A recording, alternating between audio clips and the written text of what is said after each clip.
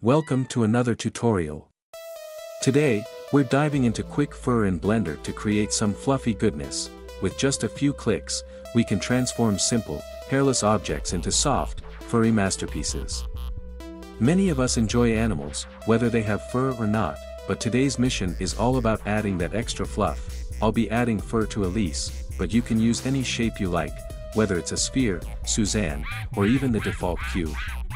If it's a mesh, it can have fur.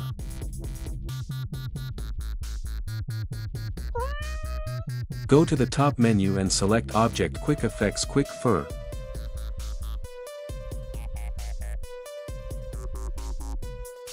Next, open the shader editor and click Use Nodes. Delete the principled BSDF shader and replace it with principled hair BSDF.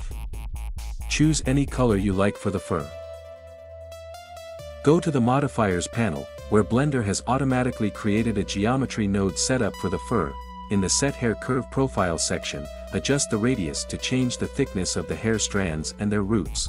There are many settings to tweak, but these basic adjustments will help you quickly create nice-looking fur. Under Interpolate Hair Curves, adjust the density to control how thick or sparse the fur is. That's it for the basics. If you also want to light your scene properly, check out my tutorial on setting up studio lighting. Thanks for watching. Don't forget to like and subscribe, and let me know in the comments what kind of content you'd like to see next on my channel.